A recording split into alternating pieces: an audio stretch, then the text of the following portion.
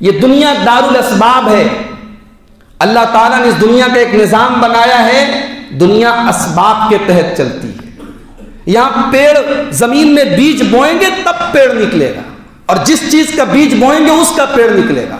हम आम हम आम खाना चाहते हैं और बीज हम डाल रहे हैं बबूल का तो भाई बबूल का आम बो करके हम आम, बबूल का पेड़ बो करके आम तो नहीं खा सकते दुनिया दारुल असबाब है मेरे भाई। हम दुआ कर रहे हैं अल्लाह ताला से कि अल्लाह हमारे हालात को दुरुस्त कर दे और हम कुछ कोशिश नहीं कर रहे हैं। हम अपनी ज़ात से अपने इल्म से अपनी नॉलेज से जो कर सकते हैं वो करने की कोशिश करें। ठीक है?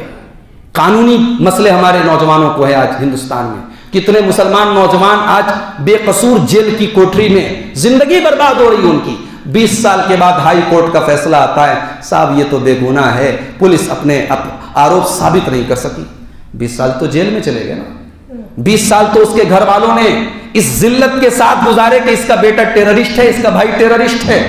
20 साल एक आदमी के खानदान ने, उसके बाप ने, उसकी माँ ने कैसी कैसी तकलीफें झेली। वो बेचारा बूढ़ा हो गया, उसके बच्चे यतीम रहे 20 साल, उसकी बीवी बेस 20 साल बेवा रही। और 20 साल के बाद अदालत कहती है, साहब वो बेकसूर था।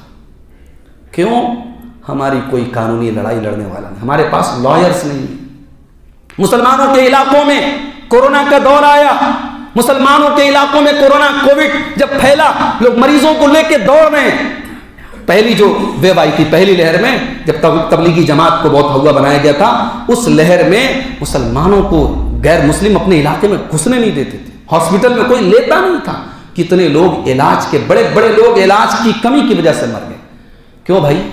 हमारे पास दौलत की कमी तो नहीं है। शादी ब्याह में उड़ाने के लिए हमारे पास करोड़ों हैं। आला से आला बिल्डिंग बनाने के लिए हमारे पास करोड़ों हैं। अपने मोहल्लों में, अपने इलाकों में हम एक ढंग का हॉस्पिटल नहीं बना सकते। मेरे भाइयों, हमें अपनी तरजीहत बदलनी पड़ेगी। मुल्क के मौजूदा हालात के तहत हमें यह तय करना पड़ेगा कि हमारे हक में क्या बेहतर है, हमारी कौम के हक में क्या बेहतर है, और हमें स्टेप लेना होगा, हमें वो काम करना पड़ेगा, और फिर हम अल्लाह से दुआ करें कि अल्लाह तो हमारे हाल की इसलाह कर दे, तब अल्लाह इसलाह करेगा।